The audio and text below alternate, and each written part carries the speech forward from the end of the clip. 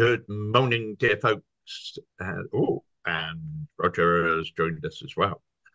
Uh, good morning, dear folks, and welcome to the last talk before our summer break, where we will be on your wavelengths in September with an amazing program, or even two or three.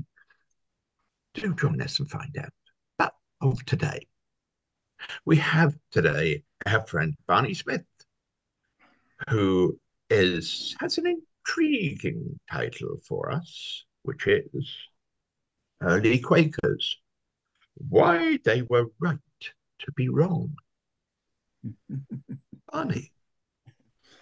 Yes, I suppose I'd better come out in the open as to what I think they were wrong about and this may be a little bit of a surprise to you because what we mostly record and remember about George Fox and the early friends are the things which they got right and the things which we still applaud and celebrate. And we're inclined to um, gloss over or just not report uh, to each other and other people the things they got wrong. Um, and the particular things they got wrong, which we tend to neglect, is that they thought they was at their particular time in history a unique and new incursion of the experience of Jesus Christ in their lives, and that this was part of um, Christ coming to take over the world and reclaim it um, um, as his kingdom, and that this was going to happen, and this was this no wasn't going to happen. This was happening, um, and um, I want to now just leave, put that on the shelf for the moment and go back to the particular time of 1652 um, and what led up to it. And there are two things which are, are two streams of history which need to be brought into focus to make sense of all this. Um, and that is um, religion, and this is a European uh, picture, and um, the politics, which is a particular um, thing for the four nations um, of um, what's Britain and Ireland. but in religion, the, now so a lot of this will be familiar, but little bits of it may not be familiar to some of you. Um, the European um, religious structure at the beginning of the um, 16th century was basically Catholic, with a few um, Lollards and similar ones scattered around Europe who actually um, thought that uh, the Bible didn't really justify all the structures and practices of the Catholic Church, but they were few and far in between and pretty well persecuted. But in the 16th century Europe, the people who are protesting against the Catholic Church's practice actually gained some hold of political power.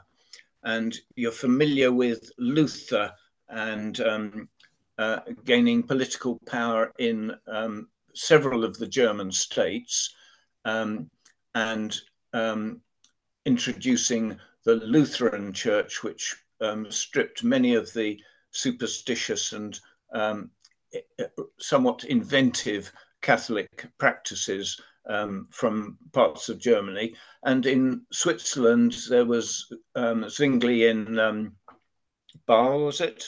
Zurich, and Calvin in um, Geneva, who had um, uh, the backing of their um, uh, city states effectively um, and were able to introduce uh, a reformed version of Christianity in those areas. This was happening in um, Central Europe in the 16th century, and not much of a ripple really reached um, England at that time. Um, but a ripple did, and um, one of the ripples um, proved very useful to um, Henry VIII, who was in who was a Catholic, a very devout Catholic in his own way, um, and um, awarded a title by the Pope for his efforts, um, who wanted to split from Rome um, in order to get a divorce. And um, so um, the English or the British, because um, Henry ruled Ireland as well as Wales and England, broke away from Catholic Church, and that allowed um, a few Protestant reforms to creep into the um, what was really an Anglican Catholic Church, um, and um, under Thomas Cromwell and Anne Boleyn, um, that crept forward significantly um, with the introduction of the Bible in English language into the churches and the dissolution of monasteries.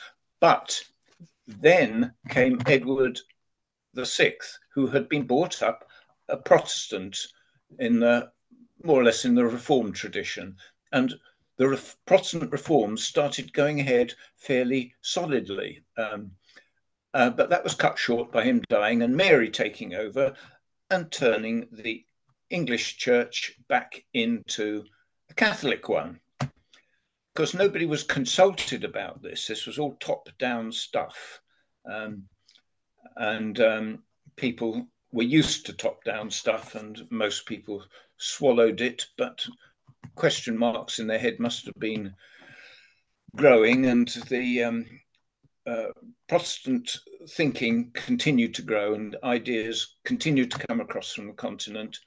Um, and then along comes Elizabeth, who again was pretty well a Catholic, um, but um, she had a, a, Protestant mother and she tried to steer the English church um, in a sort of compromise way between the Catholic tradition and the Protestant tradition. She was um, uh, probably quite a brilliant politician, and um, that's what she tried to do hold it all together. Then came James I, brought up a Presbyterian in Scotland and um, encouraged moves towards the Reformed tradition. It's interesting that it's a Reformed tradition um, which mostly comes to Britain rather than the Lutheran. So it's uh, Calvinist um, via a lot of it via the Netherlands, where um, uh, the Reformed uh, version of Protestantism was um, very significant. Um, and so under James I, we shifted in a, uh, uh, reformed or sometimes in this island called Presbyterian tradition, the, the Scots Reformed Church. Um, the Scottish had had their Protestant Reformation, and it was led by Knox, who was a, a Calvinist, and so they were very much in the Reformed tradition in Scotland by the time James was born and brought up, and so that came down to England. But then James's son Charles, um, I think his mother may have been Catholic. I'm not sure, but anyway, he was much more of an Anglo-Catholic, and so we started shifting back towards Catholic practices. Um, so at the same time, more and more of another tradition was seeping into Britain, as well as the Lutheran and Calvinist Reformation which historians call the magisterial Reformation, because it was imposed by the powers that be, whether princes or um, councillors in um, uh, Geneva cities. But this was imposed from above, magisterial Reformation. People were told, you are now Protestants, and this is the way you will worship and behave. Um, but alongside that, there was a radical Reformation going on of people who had access, particularly to the Bible in the German language and um, increasingly in other um, uh, native languages, not just in Latin. And they started thinking for themselves and saying, it's not up to the state to tell us what to believe. We can read the Bible and work it out for ourselves. And that's the radical Reformation. And um, they were suppressed by both the magisterial Reformation um, and by the Catholics, of course. And uh, my my sort of generalization is the Protestants tended to turn them into refugees, and the Catholics just killed them. Um, but that's a generalization. But it wasn't very nice being a a part of the radical Reformation in parts of Europe, and that persecution continued. The best known um, remnants of that, um, quite significant remnants, are the Mennonites, who have various different um, uh, groupings around the world. The Amish are probably the most well known because they're the most visible, but most Mennonites sitting around a Zoom screen would look much like us. And um, there's a, a, lot of them went to the States. There's a lot of um, um, transport between Germany, Netherlands, and the States um, of Mennonites escaping from Protestant and from um, Lutheran and Reformed and Catholic repression. So these ideas were coming across into Britain, um, not in any particularly organized way. There are various groups or individuals who were known and wrote, but um, a lot of it was word of mouth and people traveling around um, and talking to people and sharing ideas and people just coming to their own conclusions without being told. Um, so this was the early part of the 17th century, the first half of the 17th century. Um, new ideas from the continent were coming in to Britain. Um, that's the religious background. Is there any language I've used there which needs to be pulled apart, teased apart, and explained?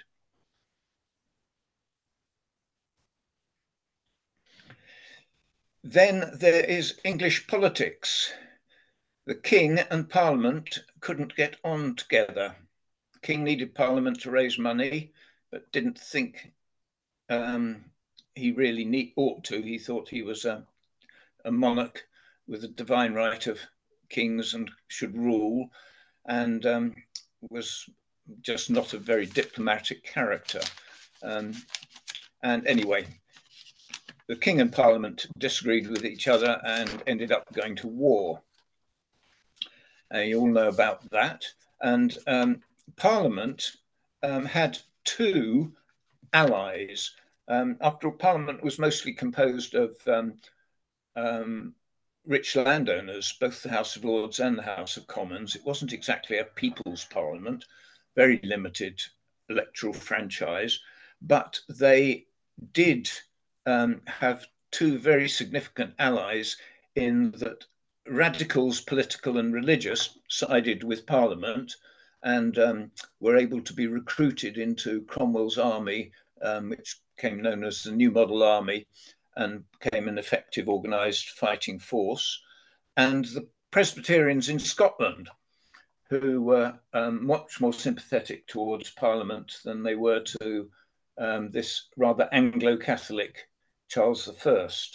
Um, so um, the um, king was defeated, but um, didn't accept defeat and uh, rose again to fight again, and therefore was convicted of treason by a parliamentary committee and beheaded, which is a pretty shocking thing for a country which has never not had a king of one or queen of one sort or another. Um, and um, the other thing which um, of course, what happened in the New Model Army is that all these rather keen radical people talked to each other. And some of them didn't just talk, but they preached, so called agitators. And they didn't draw a line between religion and politics. They tended to address both together. Um, they saw them as the way in which society was organized um, was integral and you couldn't split them apart and there were characters like um, Gerard Winstanley, who called himself the um, true leveler, um, who later on became a Quaker, but he um, uh, tried um, taking over la land and using it, um, redistributing land. But and James Nayler, uh, he was another agitator in the New Model Army, a quartermaster, um, a respected um, administrator and an articulate um, preacher, a street corner preacher in the New Model Army. Um, these people cut their teeth in the New Model Army, but the New Model Army was suppressed with the help of the Scottish Presbyterian Army, when the new model army started making demands of government that there should be reforms in the electorate and um, particularly electoral reforms, but other reforms as well. And um, the gentry suddenly realized that if you had electoral reforms, somebody might question their ownership of the land. And so the New Model Army had to be suppressed, and the Presbyterians from Scotland were brought in to do that. So the New Model Army, or large parts of it, were effectively defeated. Uh, so the political ambitions, oh, and the leaders jailed or beheaded. Um, uh, so that they were effectively dispersed as a as a as a as a religious and political force. And the other thing is we had a couple of cold, wet summers. People were hungry and miserable. So you've got a very, very febrile situation of people who have been uh, told to worship in this way and told to worship in that, never quite sure whether it's the king or parliament who's going to win the civil war. Um, their radical hopes crushed, and they're half starved. And then you've got George Fox comes along. Um, and the message that the world was about to be taken over by Jesus Christ coming again, and that Jesus Christ was already speaking to people in their hearts um, was a very welcome message.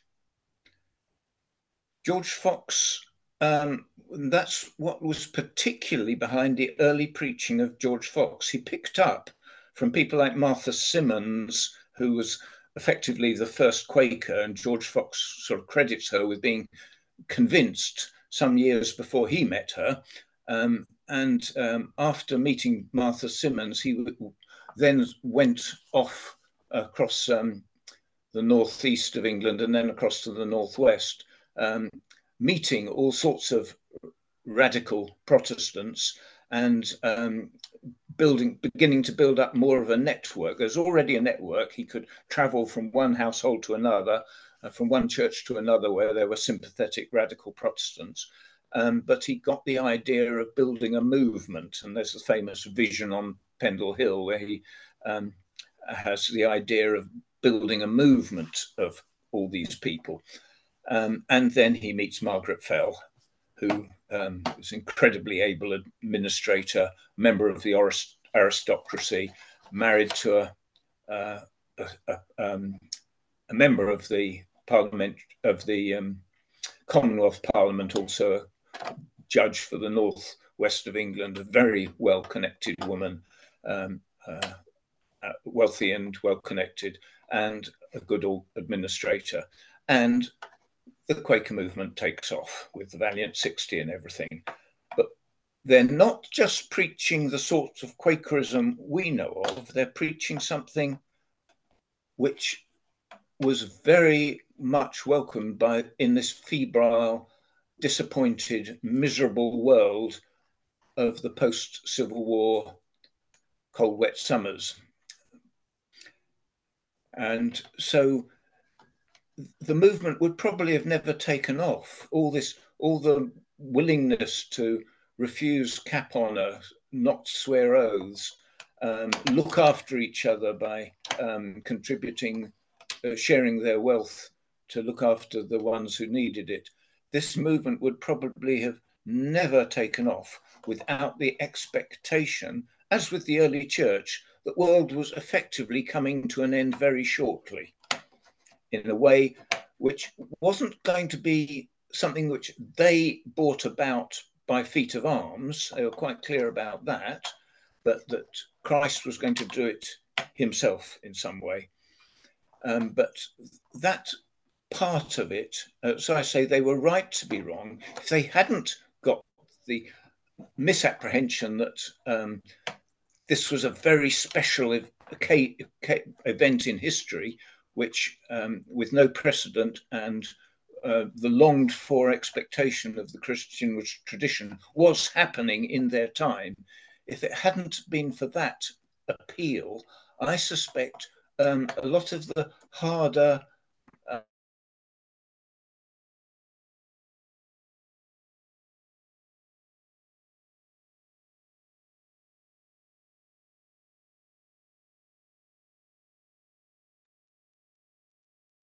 Have we lost Barney?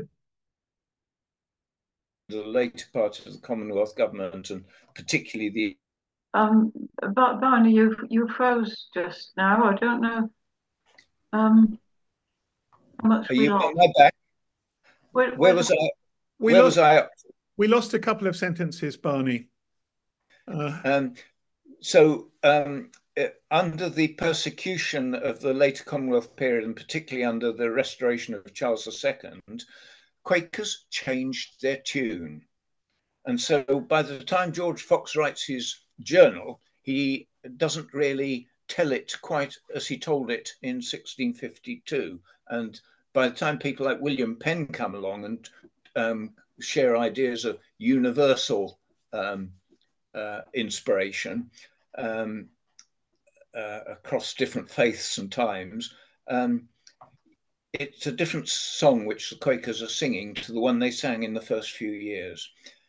And um, we're inclined to forget that. And I think there's a tendency amongst Quakers, um, some Quakers today, if only we got back to the original message of the early Quakers, we would get 10% of the population of Bristol as Quakers, and we would get um, uh, hundreds of people around um, the country and across the world to become Quakers. Um, and I think they couldn't be more wrong, would be laughed out of court. Um, so that's it. I've blasted you, I've ranted at you now for um, 20 minutes, um, so you can have a go at me.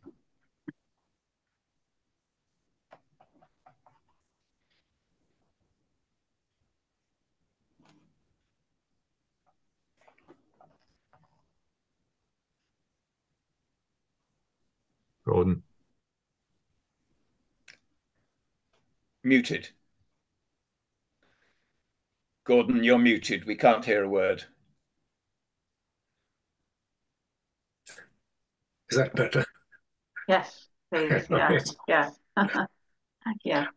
Well, I was born and brought up as a, an enthusiastic Methodist.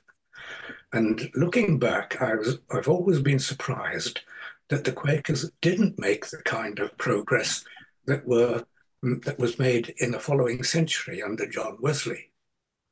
Wesley seemed to, to address the ordinary people or keep them together in a particular way that the Quakers didn't manage. And um, I have my own ideas about how that happened. But there's an interesting little story which underlines this I've come across recently. And it is, uh, it would make a wonderful novel by somebody who's prepared to put in all the historical trimmings. But in 1739, a baby was born to a woman whose name was Pilmore, and the father was a man called Ford, who was a Quake Methodist, sorry, a Quaker from Darlington. You know, Darlington was one of the big centers. And as a result of that, Ford was expelled from the movement, which says something about how the Quakers were having to protect their position. Well, young Pilmore grew up, and he, he obviously this was in, in, a family that was well off.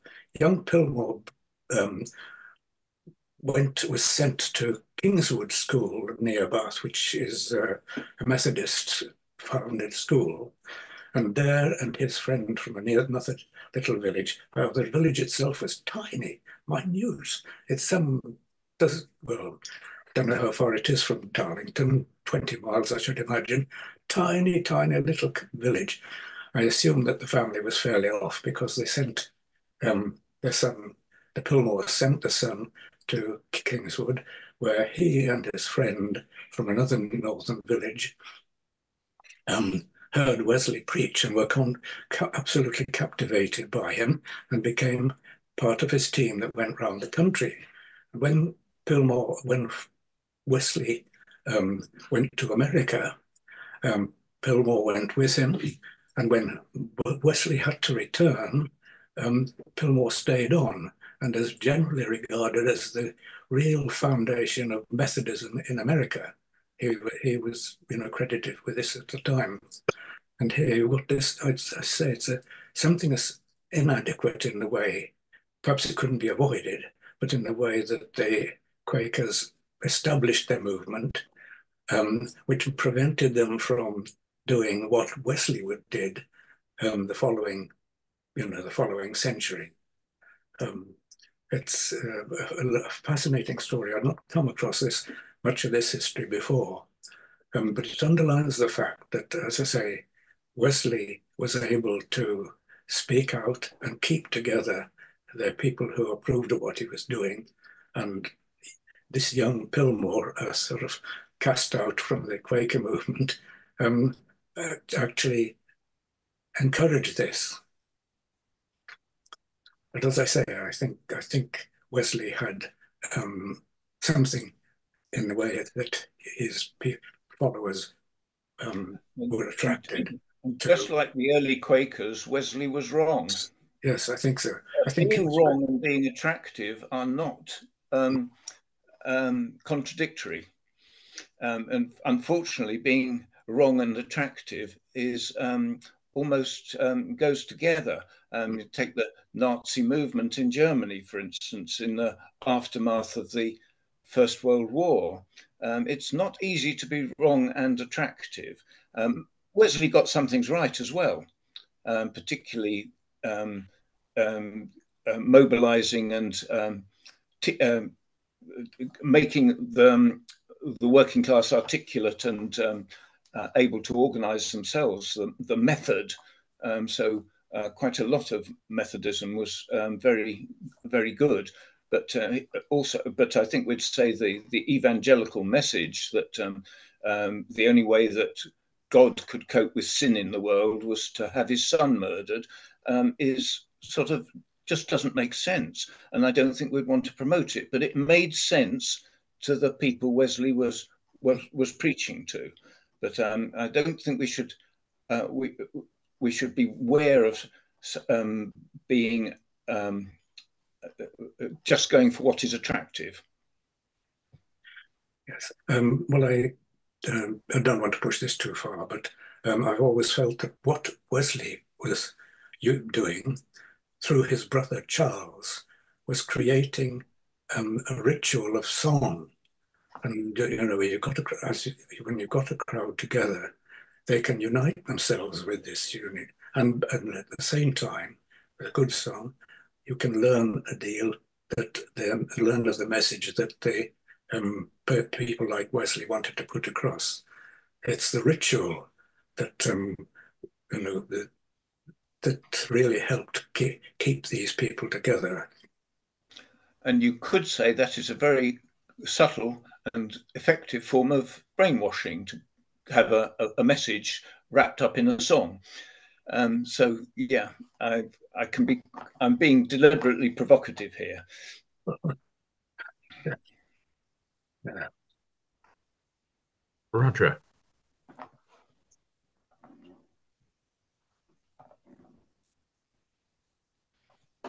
Hello. Uh, thanks very much, um, Barney, for that uh, magisterial account of the uh, history of the Reformation. I thought was terrific.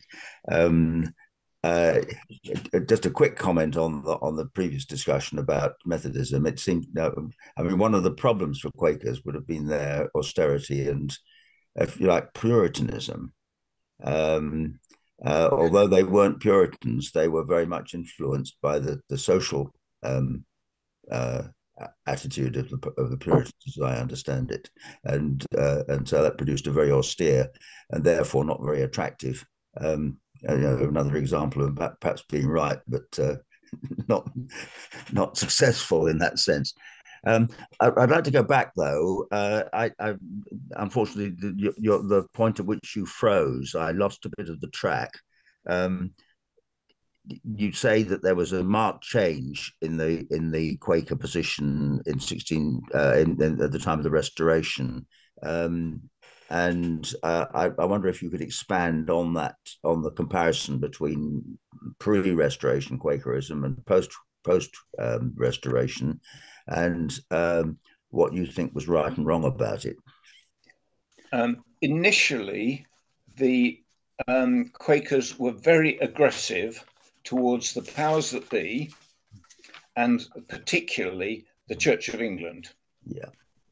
Um, they thought that they were going to fall and that the Quakers would particularly be um, part of that, um, uh, making people realize that they those bodies did not have the authority they thought they had, and, partic- but, and particularly the church. Um, the um, Fox was not as hot on the social agenda as people like Winstanley and Nayler, um, who actually almost word for word um, wrote uh, their pamphlets. You can almost line by line compare them. They were so close.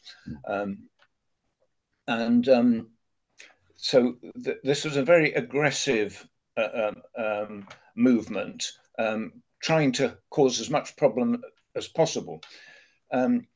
Towards the end of the Commonwealth period, a lot of the leaders of the Quaker movement, Fox in particular, but some others, were taking a much more conciliatory approach towards the government.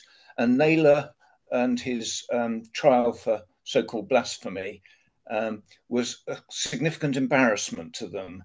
Um, the ones who disliked this move towards being conciliatory towards the powers that be um, tended to home in and support James Nayler as their champion against Fox. And I don't think Nayler particularly saw himself that way, but he was seen by others as that way. And so the downfall of Nayler was, to a certain extent, seized upon by um, the, the, the compromising Quakers um, as, uh, as an excuse to exert a bit more um, control over the movement and stop excessive language and excessive behavior um, and um, make sure that things are, are, read by a committee before they're print, printed and published. And that was already happening towards the end of the Commonwealth period.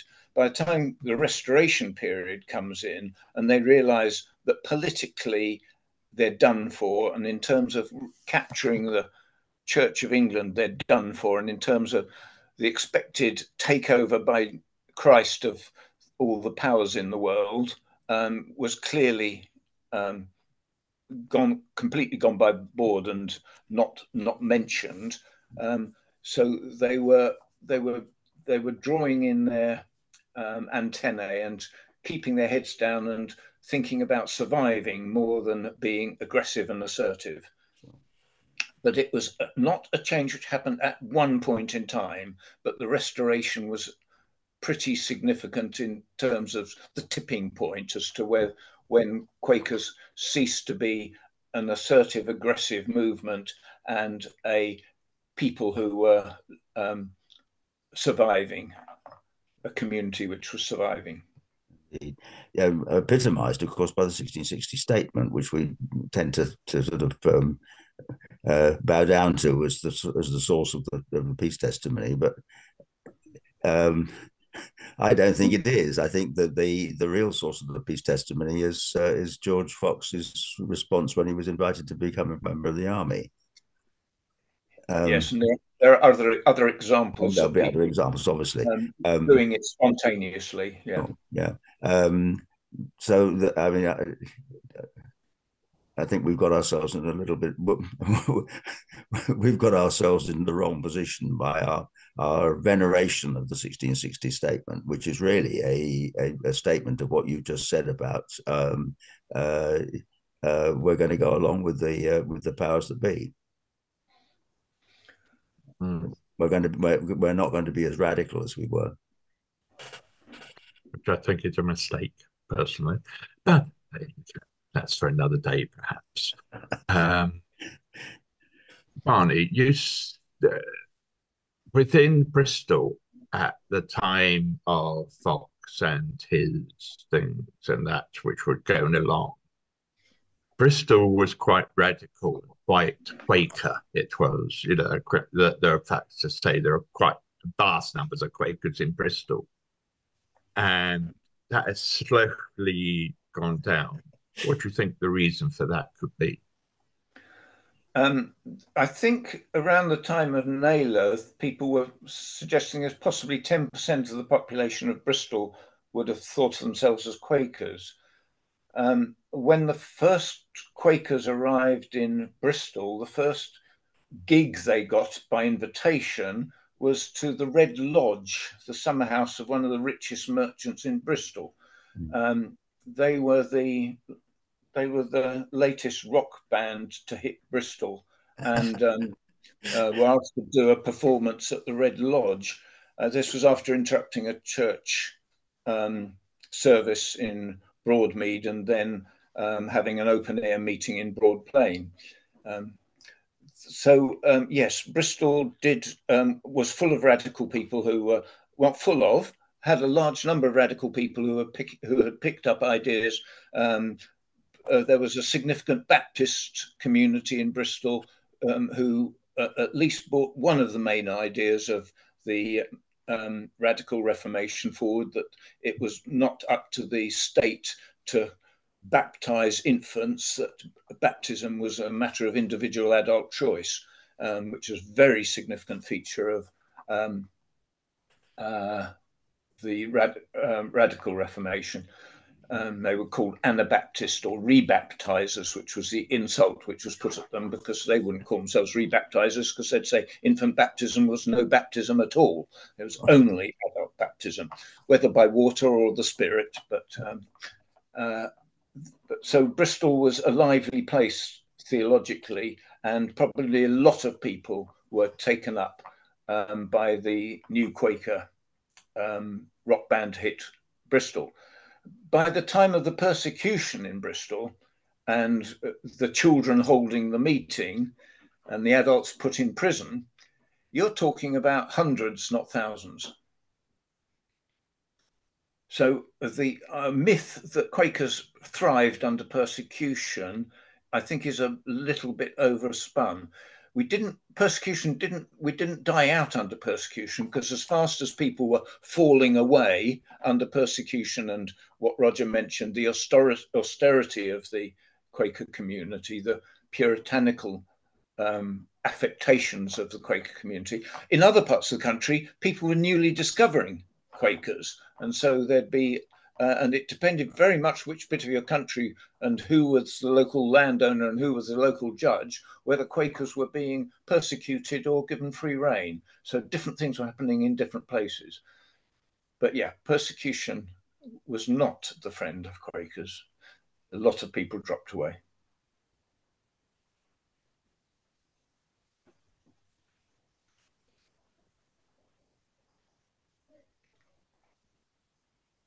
David.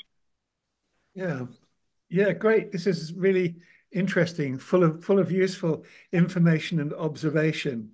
Uh, and I, I, I'm, I've got an got a kind of perspective that I'd like to bounce off you, Barney, and see if it uh, has any relevance in uh, in in your way of looking at things. When I came across Quakers, it was initially through social action, which I approved of, uh, and through um, participative governance, which I approved of, non-hierarchical. But um, I was reluctant. Well, that, that, was just an observation. Uh, and but what I was really interested in was whether Fox had really had some genuine, deep mystical experience. Uh, and I'm thinking of how this happens with individuals uh, and sort of um, Abraham Maslow actually, that that people who uh, are have an integrated spiritual and material life start off with some kind of deep breakthrough, which Maslow calls a peak experience, and then find ways to sort of layers of structuring it into the world, and that comes up in different forms in different you know religions and practices. And the problem is, you, after a while, you start to look at the practices and not the deep spiritual insight. And I think it's as true of movements as it's true of individuals and their spiritual experiences. So, you know, for me, what's interesting about Quakers is the is the initial fire that Fox had, which seemed like, in my reading, to be a very genuine and real uh, mystical experience. You know, whether, whether or not, you know, every many, many mystics then link their insight or whatever it is to the great other spiritual leaders that they consider themselves to be in in the in the train of. And i think that's how you get the mistake of saying you know the kingdom of heaven is uh, coming coming soon to a place near you.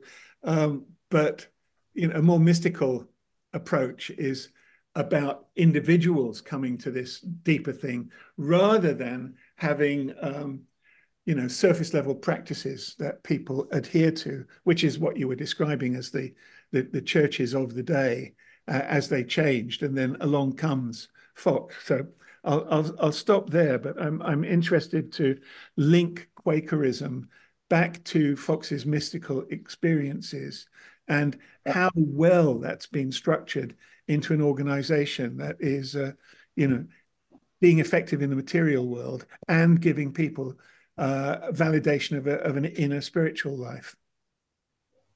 I think the uh, mystical experience, the main one which Fox highlights, is his um, the light um, over the darkness, and the darkness couldn't consume the light, which he had before he met Martha Simmonds.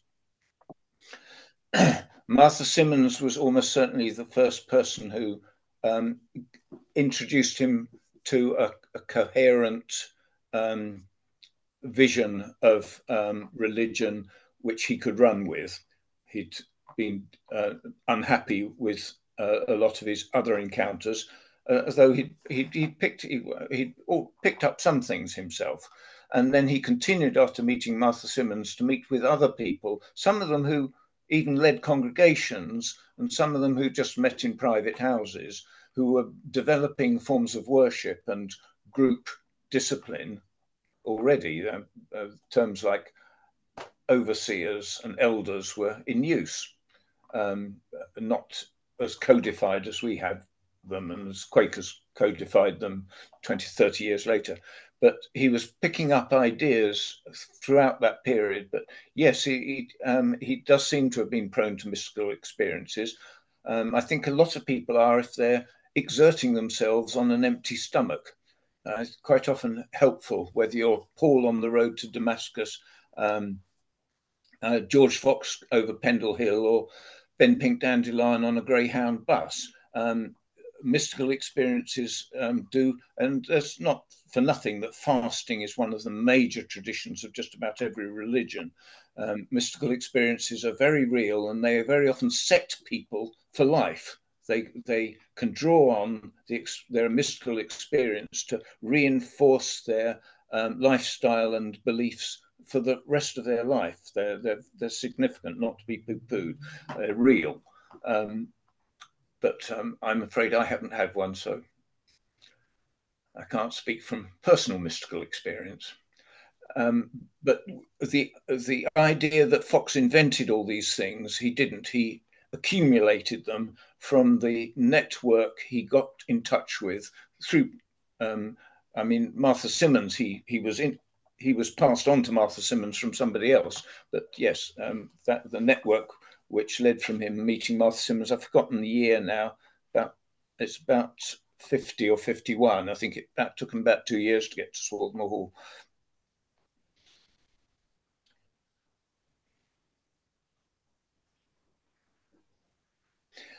Radical action wasn't particularly, in terms of our modern sense of it, wasn't particularly um, deliberately done by early Quakers, except in their um, aggression towards magistrates um, and telling magistrates what to do, and um, uh, them um, and their unwillingness to um, take oaths and also their unwillingness to use the clergy for weddings and burials, which meant very early establishment of burial grounds.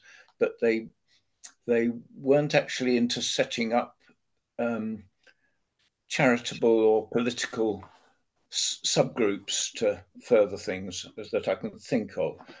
Not until people like um, what's his name who set up the workhouse in Bristol. That's a generation later. Richard. Thank you. Uh, thanks, Barney. Um, lo lots of thoughts going through my head. Um, uh, it started, uh, the first bit of interest to me was when we started to look at, you were starting to talk about the way Quakers are and were, and and evangelism and attracting new members and the the fluctuation of that. And, and what I got from that is a um, we we have we have changed as other religions have uh, to capture the opportunities that seem to present them. Uh, we've been pragmatic at times as as a as a as a group. Whether individuals have deliberately, I don't know. But it made me think um, as we think about um, trying to do outreach, um, maybe we shouldn't do it unless we've all been to see the Book of Mormon, uh, which is which is a wonderfully uh, irreverent take on the way that um, in a particular circumstance, someone tried to attract more people by being very pragmatic. Um, it, it's it's it's a wonderful thing, but um, but but beyond that, I, I am interested. We we we it's this is a very um, brain-led intellectual discussion of the history, and when we look back at um, history. I've, I've, often seen programs where they they talk about a history that I was a part of. They talk about the way the 50s were like this and the 60s were like that, and then along came the 70s and it was different. And they they they put some artificial dividing lines in there that that that, that aren't anything like how it felt for people at the time who were in slightly different pockets. I mean, the, the 50s hung on uh, in certain areas of um, poverty in England well into the 90s. Um, and you just have to look at some of the photographic histories of, of um, working class people to see that the images I have of the 50s in my life were very much the same images that that, that some people in the northeast were having, you know, way way into my my 30s and, and beyond. So so history is never linear. It, it's it's very moving, and it, it's made up of individuals. Um, and I think you've illustrated that, that that it's not one person that does things, it's not the movement that does things, it's it's the combination of people working and thinking together.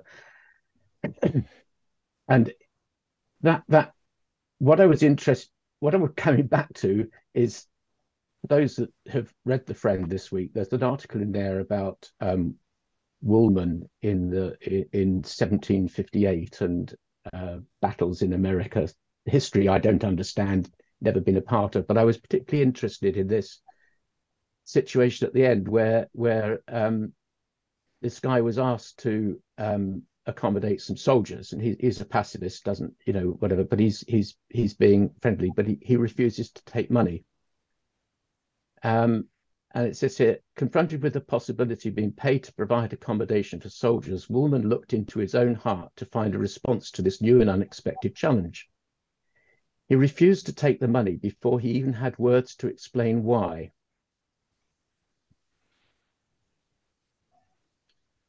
And it was only later that he had an explanation and felt a need to clarify things and avoid ambiguity. So the next day he went to explain his actions to someone the, the, thought came after the response.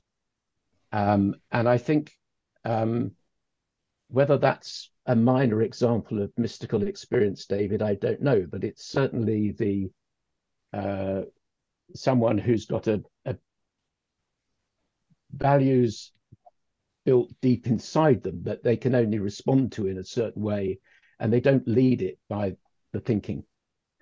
And and I think perhaps these days, that's where we need to be radical um, individually um, and and collectively. Uh, and and we tend not to. We we tend to think first and talk it through rather than actually speak from deep spiritual meaning and experience.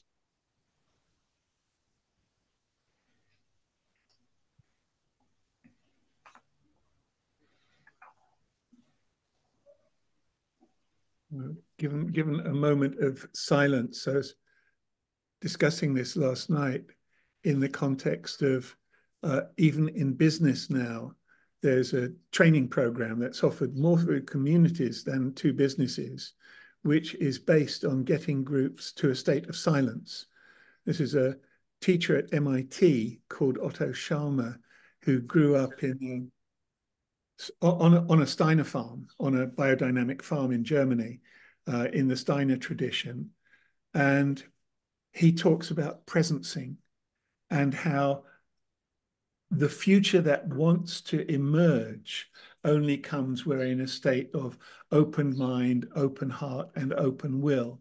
And it, it's very interesting to hear a successful business trainer. He's one of the most successful trainers in the world, and his course is free, uh, which is you know it, it, it, it's it's the it's the radical shift, and um, I think of the the potential, and and I, I link in my mind Quakerism with what Steiner's what what sorry not Steiner what Scharmer is doing, what Otto Scharmer is doing, because he's validating individual mystical experience and linking it all the way through to action in the world, which Quakers have done for hundreds of years. But this guy has come up with another package. And these are, to me, the, the, the layers in Maslow's hierarchy of needs. There's mystical experience, and then there's these layers. He said some things came later, and it's like uh, in my own life, I I had some kind of mystical experience when I was young. I learned to meditate, um, and went through a series of periods where I was adding sort of stacks of competencies in my life. And, uh, you know, and uh, Maslow, Maslow refers to this as becoming self-actualized eventually. It's not that you have the peak experience, but then you're able to somehow carry it with you in the world. And the, the great mystics are doing that, as, as you say, uh, completely intuitively and spontaneously. Woolman is just responding before thinking. There, there isn't the intellect or anything getting in the way of the direct spirited response. So, and I, I think Quakers, Quakers intuitively and experientially have a better experience of all of this than pretty much any other religion in the UK. I, I sort of, in my own mind, I, I, I, I, I smile inwardly that Quakers call themselves a, a, kind of Christian religion, but they taken the trouble to write their own red book, you know. So, you know. Uh, uh, uh, and it's so no, you know, we, we we don't we don't need a Bible. You know, the the sum total of our collective experience is is a guide, and uh, I find that you know it's, it's, I, I, just find it really interesting, which is this this is this is the attraction to me of Quakerism and people involved in Quakerism. But it, it would not be interesting to me if I couldn't tra trace it back to some kind of deep inner mystical experience of of the divine one way or another and then how that gets integrated with our experience of being you know in a material world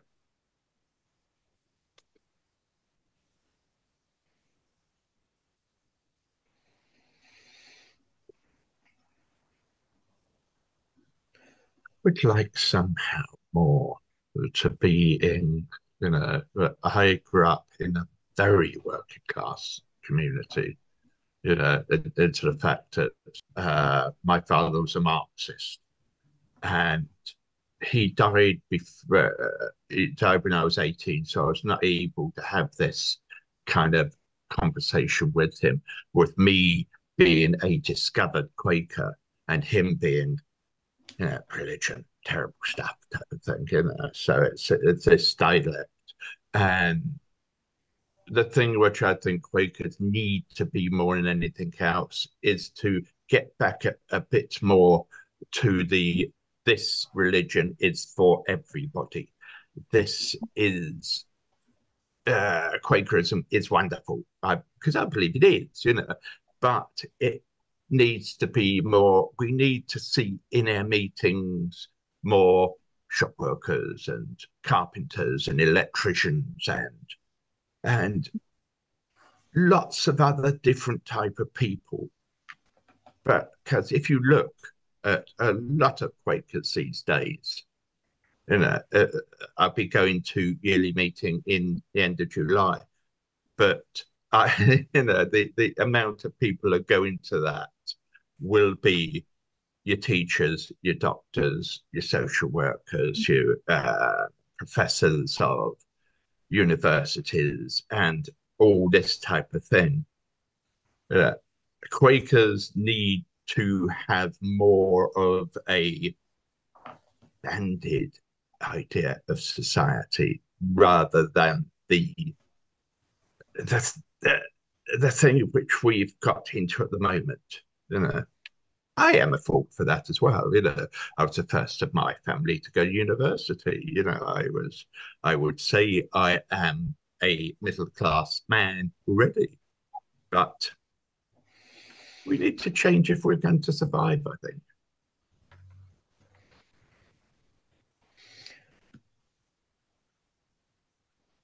The points I'd like to add into that is that, yes, the Society of Friends is a result of a lot of individuals doing and thinking their things, and um, uh, and that changes the body as a whole over time.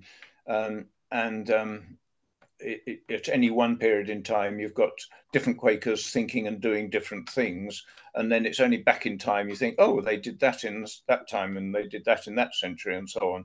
Um, but it was it was always gradual, individual um, bits which made up the whole, and you can look at the drift of the whole, but all resulting from individual things. But then there's the question of what do we do now? Um, now, we could think of something which would be very popular, which we um, which was um, we knew would be popular, but we also knew would be wrong, and we could promote that heavily. That obviously not going to work.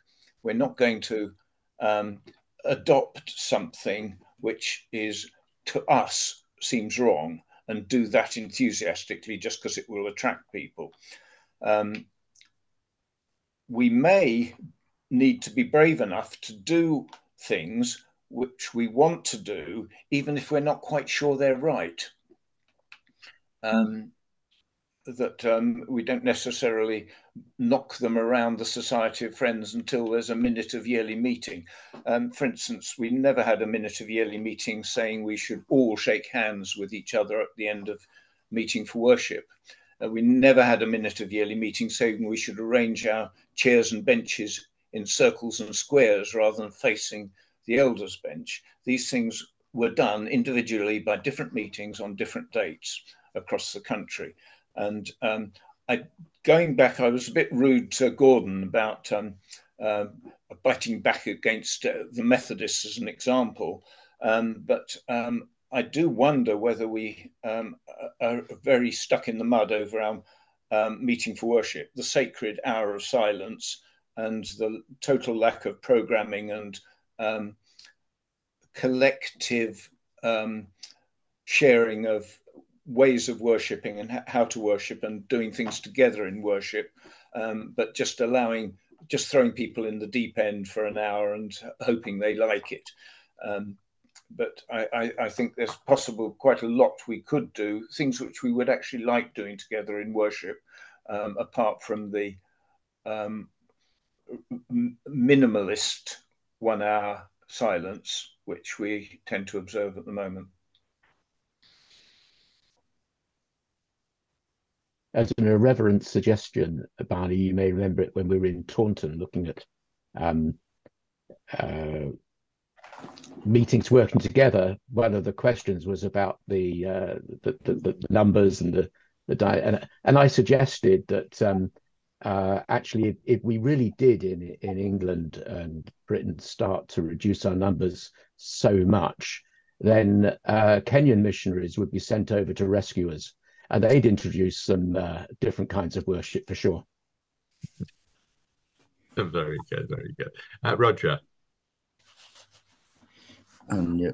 Uh, thanks very much for that. It's uh, yeah, I mean, a number of bits and pieces come together in my thoughts over the, the last few minutes.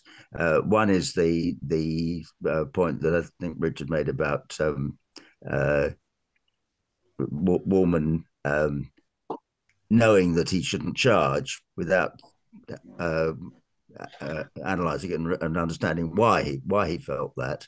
Um, it reminded me of uh, a, a, statement that I came across when I was working in personal and social education many, many, many, many years ago. Um, that pointed out that uh, attitudes tend to follow behavior rather than the other way around. Um, I, I, I, think that's a very uh, simplified over overgeneralization, but I suspect that the origin of attitudes tends to be related to behavior. Um, and um, uh, and the question is: is the behavior driven by the uh, in uh, like in Woolman's case, where it was clearly founded in his in his own um, uh, spiritual experience, um, or whether the behavior is based on social pressures or whatever, or our, our own uh, uh, less less than desirable desires and, and all that. Um, but it, it, it's a very important way of, of thinking about the way in which we arrive at our our, our attitudes. Um, on the question of um, of program worship, uh, I, I, love the idea of Kenya sending over missionaries. Um, I mean, it's come to me very clearly in the just quite recently how uh, the, if you like, the root um, basis of of uh, the Quakerism that we practice is to be found in uh, Fox's experience of there was one Jesus Christ who could speak to my condition. Um, he, he was taking very very seriously and deeply the uh, the the um, the teaching of Jesus. Um, and my experience of Kenyan Quakers, uh, and, and I'm sure that that would probably be found elsewhere in the evangelical Quaker world, though I sometimes doubt it in one or two places. Um, the um, is a very very close relationship with Jesus. Um, now, it, I think it's fouled up by the evangelical message of of uh, taking the, the biblical text literally, and, and and that and that seems to me totally wrong. Um, but but the foundation of it is this is this um, uh, uh, very very uh, clear relationship to the person of Jesus. Um, and then thirdly, the idea of, of more programming uh, I, I, mean, I'm not not averse to it, and uh, and uh, I mean, one of the things that, that, when I was in a Quaker school, of course, was that uh, that our, uh, well, we had traditional Quaker worship on Sunday morning. On Sunday evening, we had an evening had, had an evening meeting which was programmed, uh, and I think that was absolutely the right thing. Um, the danger is, from my experience of visiting Quaker churches all over the world, um, is that the uh, the silence can get lost because it's hard. Uh, and, I never remember, I never forget going to two um, um, Friends United meeting, as the mainstream pastoral Quaker meetings in. Um, uh, well, I think I'm not. Sure, yeah, I think in, it was actually in, in Virginia, um, close to Virginia Beach, at the northern end of Virginia, uh, but would have that, that, area that would have been part of Baltimore meet, meeting uh, yearly meeting. Um, uh, but the, uh, the, the, these two um, pastoral churches only had one pastor, and the I went and I went to both of them at different times, and one uh, was very like a, a, a, meeting that we had. I mean, there was a little bit of programming, but not very much. But no, and no music. Just, just I think a, short sermon or a Bible reading. I can't really remember, but it was very uh, plain. While the other one uh, was sort of full programming, but with a space for for silence in the middle.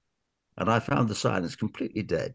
That just had didn't have any uh, I mean, that may have been only my experience, and it may be that the uh, friends who were used to it gained more from it than I did. But I got the feeling that it was um, something that the pastor liked, and uh, therefore uh, you did it. Uh, and, and, you don't get much silence in in Kenyan, typical Kenyan uh, Friends church services. Um, wonderful experiences as they are, uh, I, I, really enjoy taking part in them, e- even when I'm uh, nobbled on the way in to say, uh, "Oh, would you take? Would you bring the message?" um, the first time that happened to me, I fortunately had a bit of paper in my pocket. I anticipated it, but it's uh, it, it's um, there's a spontaneity about the about the ministry and in, in those those meetings that um, that I that I, I welcome, but it but but not much silence, I'm afraid.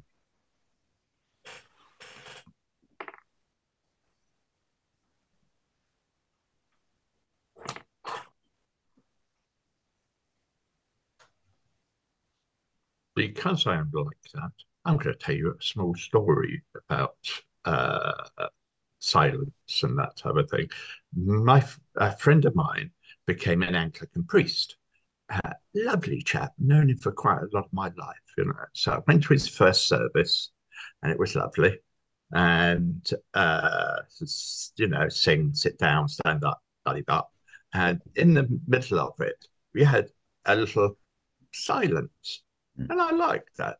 And so I said to him afterwards, I said, George, a marvelous survey, mate, uh, service, mate, but a bit of Quakerism in there, slight silence.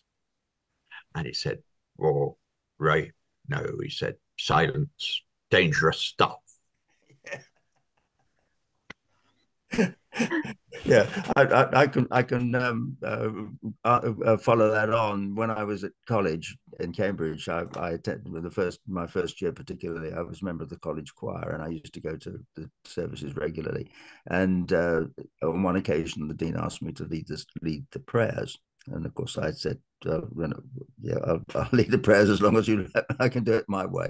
And um, and it, it uh, I said that my, that that, that uh, my approach was was was in silence, and uh, uh, obviously, if anyone has something that they wish to to to share, uh, that's fine. The dean lasted fifteen seconds.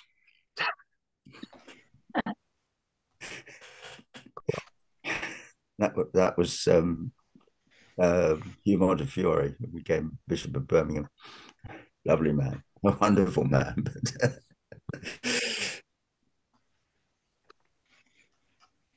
Any more comments and questions for Barney, folks? Richard. Yeah, very, very quickly, because um, I think, but um, it, it's exploring this, you know, throwing them into a, an hour's silence and hoping they like it thing. I mean, it, it, it has triggered my mind a lot. Um, my experience in in Kenya uh, in in Nairobi, and I'm sure it's different around. You know, I've very limited experience, but but that that was interesting because you actually had in the same location two kinds of worship going on at the same time. Uh, you had the big church service, which was packed and full of songs and preaching and goodness knows what, uh, and, and, even a sheep auction the first time I was there. Um, very lively. And, and then you also had the um, unstructured meeting based on silence happening effectively in a side room. Um, and the um, the whole catechism, the way the way that people were brought into the Friends Church in um, Nairobi, that they they they had to experience both. They were they were bedded in the structured meeting, uh, but they they came in to the silent meeting and respected that. So they had a they had both things happening, and you could you could move between them.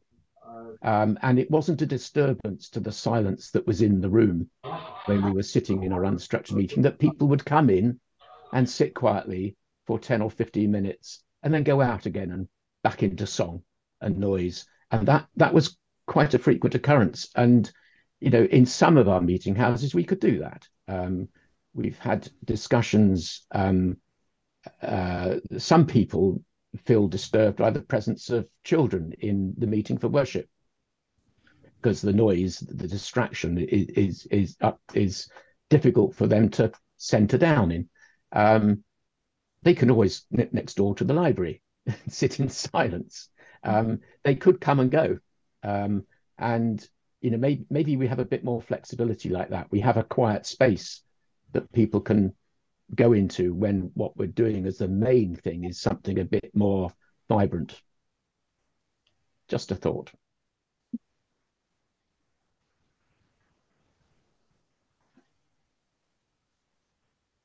Well done, friends.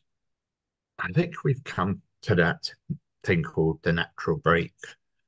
Uh, so thank you, Barney, for stimulating a, a, a wonderful talk, and I think we all appreciated it.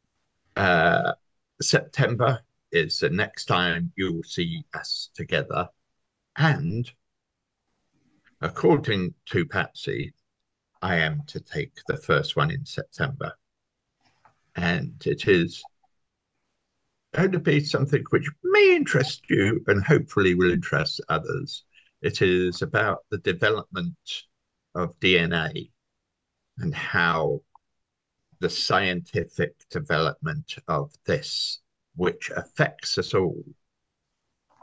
And I will hopefully raise a few moral questions on that and where it is going. Where do we want to? And David Saunders shakes his head. So uh, do come to the next one because I think you'll be interested, David. I'm looking forward to September, Ray. okay. Thank you, friends. Thank you. Thank you. Good. Thank you.